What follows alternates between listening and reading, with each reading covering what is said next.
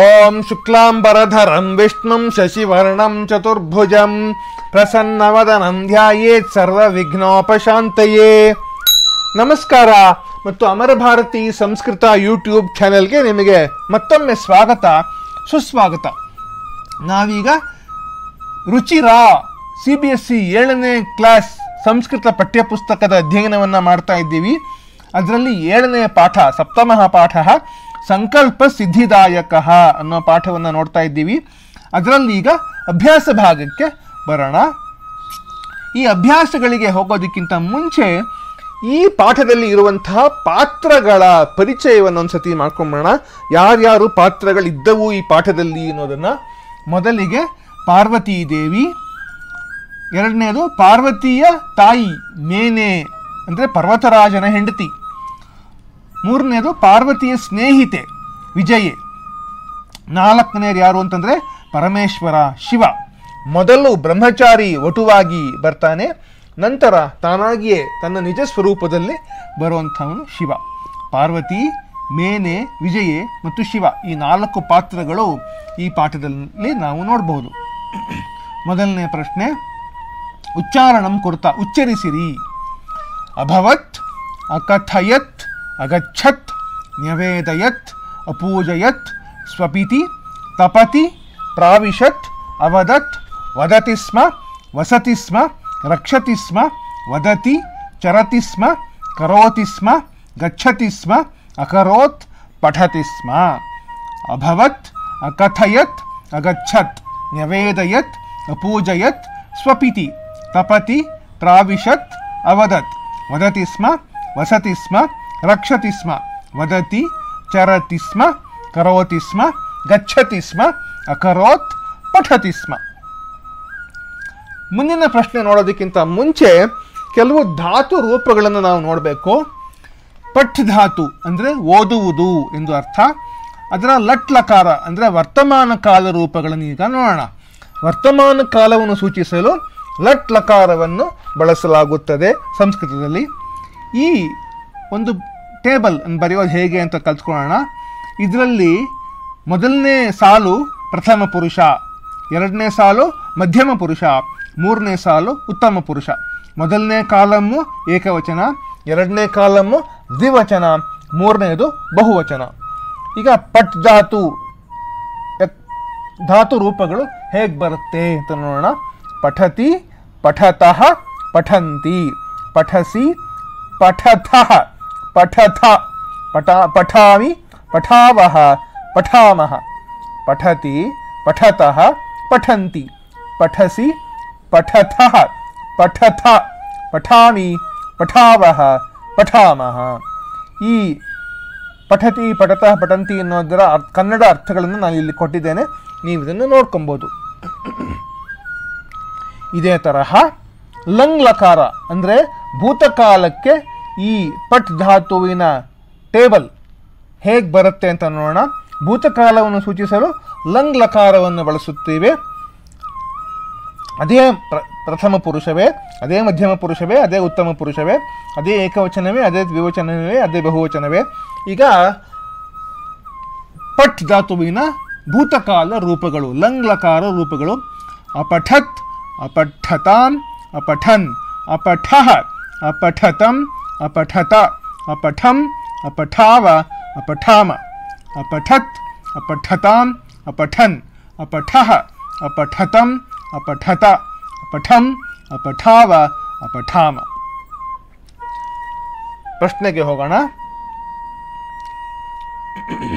ಉದಾಹರಣಮನುಸೃತ್ಯ ರಿಕ್ತಸ್ಥಾನವನ್ನು ಪೂರೈತ ಉದಾಹರಣೆಗೆ ಅನು- ಅನುಸಾರ ಖಾಲಿ ಜಾಗಗಳನ್ನು ತುಂಬಿಸಿ. ಕಡೆಯಲ್ಲಿ ಸ್ಮಾ ಅನ್ನು ಸೇರಿಸಿದರೆ ವರ್ತಮಾನ ಕಾಲದ ಪ್ರಯೋಗವು ಭೂತಕಾಲ ಪ್ರಯೋಗವಾಗುತ್ತದೆ ಅನ್ನೋದನ್ನು ನಾನು ಹೇಳ್ಕೊಟ್ಟಿದ್ದೆ. ಅದನ್ನು ನೀವು ನೆನಪಿಸ್ಕೊಳ್ಳಿ. ಈಗ ವಸತಿ ಸ್ಮ, ವಸತಃ ಸ್ಮ, ವಸಂತಿ ಸ್ಮ ಅಂತ ಕೊಟ್ಟಿದ್ದಾರೆ. ವಸತಿ, ವಸತಃ, ವಸಂತಿ ಅನ್ನೋದು ಹೇಗೆ ಬರುತ್ತೆ? ಪಠತಿ, ಪಠತಃ, ಪಠಂತಿ ಅನ್ನೋ ರೀತಿಯಲ್ಲೇ ಬರುತ್ತೆ. ಪಕ್ಕದಲ್ಲಿ ಸ್ಮ ಅಂತ ಸೇರಿಸಿದ ತಕ್ಷಣ ಅವುಗಳೆಲ್ಲವೂ ಕೂಡ ಭೂತಕಾಲ ಪ್ರಯೋಗಗಳ ಪ್ರಯೋಗಗಳಾಗುತ್ತವೆ. ಹೀಗಾಗಿ ಪೂಜಯತಿ ಸ್ಮ. ಮುಂದಕ್ಕೆ ಪೂಜಯತಃ ಸ್ಮ, ಪೂಜಯಂತಿ ಸ್ಮ. ರಕ್ಷತಃ ಸ್ಮ ಅಂತ ದ್ವಿವಚನದಲ್ಲಿದೆ. ರಕ್ಷತಿ ಸ್ಮ, ರಕ್ಷತಃ ಸ್ಮ, ರಕ್ಷಂತಿ ಸ್ಮ. ಚರತಿ ಸ್ಮ ಅಂತಿದೆ. ಚರತಃ ಸ್ಮ, ಚರಂತಿ ಸ್ಮ. ಕುರ್ವಂತಿ ಸ್ಮ ಅಂತಿದೆ. ಕರೋತಿ ಸ್ಮ, ಕುರುತಃ ಸ್ಮ, ಕುರ್ವಂತಿ ಸ್ಮ. ಸೊ ಈ ಮೊದಲನೇ ಭಾಗಕ್ಕೆ ಇವುಗಳು ಉತ್ತರಗಳು.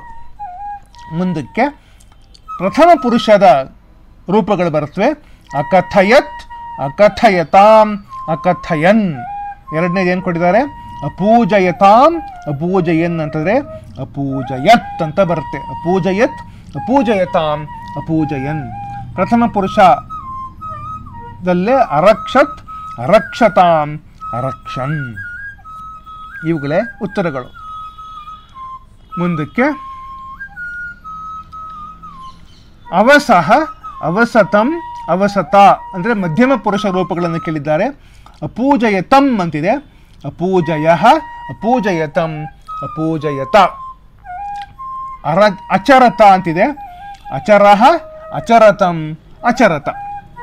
ಮುಂದಕ್ಕೆ ಉತ್ತಮ ಪುರುಷ, ಅಪಠಂ, ಅಪಠಾವ, ಅಪಠಾಮ ಅಂತ ಕೊಟ್ಟಿದ್ದಾರೆ. ಅಲಿಖಂ, ಅಲಿಖಾವ, ಅಲಿಖಾಮ. ಅರಚಯಾವ ಅಂತಿದೆ. ಅರಚಯಂ, ಅರಚಯಾವ, ಅರಚಯಾಮ. ಈ ಮೂರು ಉತ್ತರಗಳು. ಇವೆಲ್ಲ ಈ ಪ್ರಶ್ನೆಗೆ ಉತ್ತರಗಳನ್ನು ನಾವು ನೋಡಬಹುದು ಮುಂದಕ್ಕೆ. ಪ್ರಶ್ನಾನಾಂ ಉತ್ತರಾಣಿ ಏಕಪದೇನ ಲಿಖತ. ಒಂದೇ ಪದದಲ್ಲಿ, ಸಂಸ್ಕೃತದಲ್ಲಿ ಉತ್ತರಿಸಿ ಅಂಥೇಳಿ ತಪಃ ಪ್ರಭಾವಾತ್ ಕೇ ಸಖಾಯ ಜಾತಾಹ. ತಪಸ್ಸಿನ ಪ್ರಭಾವದಿಂದ ಯಾರು ಸ್ನೇಹಿತರಾದರು ಅಂತಂದರೆ ಹಿಂಸ ಪಶವಃ ಹಿಂಸಿಸುವ ಪ್ರಾಣಿಗಳು, ಅಂದರೆ ಕ್ರೂರ ಪ್ರಾಣಿಗಳೆಲ್ಲವೂ ಕೂಡ ಸ್ನೇಹಿತರ, ಸ್ನೇಹಿತರಾದವು ಅಂಥೇಳಿ ಪಾರ್ವತಿ ತಪಸ್ಯಾರ್ಥಂ, ಕುತ್ರ ಅಗಚ್ಚತ್ ಪಾರ್ವತಿ ತಪಸ್ಸಿಗೋಸ್ಕರ ಎಲ್ಲಿಗೆ ಹೋದಳು ಅಂತಂದರೆ ಗೌರಿ ಶಿಖರಂ. ಗೌರಿ ಶಿಖರಕ್ಕೆ ಹೋದಳು ತಪಸ್ಸಿಗೋಸ್ಕರ. ಕಹ ಸ್ಮಶಾನೆ ವಸತಿ ಅಂದರೆ ಯಾರು ಸ್ಮಶಾನದಲ್ಲಿ ವಾಸಿಸುತ್ತಾರೆ ಅಂದರೆ ಶಿವ ಶಿವನು, ಮಹೇಶ್ವರ ಶಿವನು ಸ್ಮಶಾನದಲ್ಲಿ ವಾಸಿಸುತ್ತಾನೆ. ಶಿವನಿಂದಾಂ ಶುತ್ವ ತಾ ಕ್ರುದ್ಧ ಜಾತ. ಶಿವನ ನಿಂದೆಯನ್ನು ಕೇಳಿ ಯಾರಿಗೆ ಕೋಪ ಬಂದಿತು ಪಾರ್ವತಿ. ಪಾರ್ವತಿ ಕ್ರುದ್ಧ ಜಾತ ಪಾರ್ವತಿಗೆ ಕೋಪ ಬಂದಿತು ವಟುರೂಪೇಣ ತಪೋವನಂ ಕಹ ಪ್ರಾವಿಶತ್. ಬ್ರಹ್ಮಚಾರಿ ಹುಡುಗನ ರೂಪದಲ್ಲಿ, ಬ್ರಹ್ಮಚಾರಿ ವಿದ್ಯಾರ್ಥಿಯ ರೂಪದಲ್ಲಿ ಯಾರು ತಪೋವನಕ್ಕೆ ಬಂದರು ಅಂತಂದರೆ ಶಿವ. ಶಿವನು ತಪೋವನಕ್ಕೆ ಬಂದನು. ಮುಂದಿನ ಪ್ರಶ್ನೆ. ಕಹ ಕಾಂ ಕಹ ಕಾ ಕಂ ಕಾಂ ಪ್ರತಿ ಕಥಯತಿ. ಯಾರು ಯಾರಿಗೆ ಈ ಮಾತುಗಳ, ಮಾತುಗಳನ್ನು ಹೇಳಿದರು ಅಂತ ಹೇಳಿ, ಮೊದಲನೇದು ವತ್ಸೆ ತಪಃ ಕಠಿಣಂ ಭವತಿ. ಇದನ್ನು ಮಾತಾ, ಅಂದರೆ ಪಾರ್ವತಿಯ ತಾಯಿಯಾದಂಥ ಮೇನೆಯು ಪಾರ್ವತಿಗೆ ಹೇಳಿದಳು. ಅಹಂ ತಪಃ ಏವ ಚರಿಷ್ಯಾಮಿ. ನಾನು ತಪಸ್ಸನ್ನೇ ಮಾಡುವೆ ಅಂಥೇಳಿ ಪಾರ್ವತಿ ಮಾತರಂ ಮೇನಾಂ ಪ್ರತಿ ಕಥಯತ್. ಮೇನ, ಮೇನೆಗೆ ಹೇಳಿದಳು. ಮನಸ್ವಿ ಕದಾಪಿ ಧೈರ್ಯಂ ನ ಪರಿತ್ಯಜತಿ. ಯಾರು ಯಾರಿಗೆ ಹೇಳಿದರು? ಪಾರ್ವತಿ ವಿಜಯಗೆ ಹೇಳಿದಳು. ವಿಜಯಾಂ ಪ್ರತಿ. ಅಪರ್ಣಾ ಇತಿ ನಾಮ್ನಾ ತ್ವಂ ಪ್ರಥಿತ. ಯಾರ್ಯಾರಿಗೆ ಹೇಳಿದರು? ವಿಜಯ ಪಾರ್ವತೀಂ ಪ್ರತಿ ಕಥಯತಿ. ಪಾರ್ವತಿ ಪ್ರೀತೋಸ್ಮಿ ತವ ಸಂಕಲ್ಪೇನ. ಯಾರು ಹೇಳಿದ್ರು? ಶಿವ ಪಾರ್ವತೀಂ ಪ್ರತಿ. ಪಾರ್ವತಿಗೆ ಹೇಳೋದು, ಶರೀರ ಮಾಧ್ಯಮ ಖಲು ಧರ್ಮ ಸಾಧನಂ ಅಂತ ಯಾರು ಹೇಳೋದು? ವಟುಹು, ಅಂದರೆ ಬ್ರಹ್ಮಚಾರಿ ಹುಡುಗ ಪಾರ್ವತಿಗೆ ಹೇಳೋದು. ಅಹಂ ತವ ಕೃತದಾಸೋಸ್ಮಿ. ನಾನು ನಿನ್ನ ನಿನ್ನ ತಪಸ್ಸಿನಿಂದ ನಾನು ನಿನ್ನ ದಾಸನಾಗಿದ್ದೇನೆ ಅಂತ ಹೇಳೋದು ಶಿವನು ಪಾರ್ವತಿಗೆ ಹೇಳೋದು. ಶಿವ ಪಾರ್ವತಿಯಿಂದ ಪ್ರತಿ ಕಥೆಯಿತಿ. ಮುಂದಕ್ಕೆ, ಪ್ರಶ್ನಾನಾಂ ಉತ್ತರಾಣಿ ಲಿಖತ. ಕೆಳಗಿನ ಪ್ರಶ್ನೆಗಳನ್ನು ಉತ್ತರಿಸಿರಿ. ಪಾರ್ವತಿ ಕ್ರುದ್ಧಾ ಸತಿ ಕಿಂ ಅವದತ್?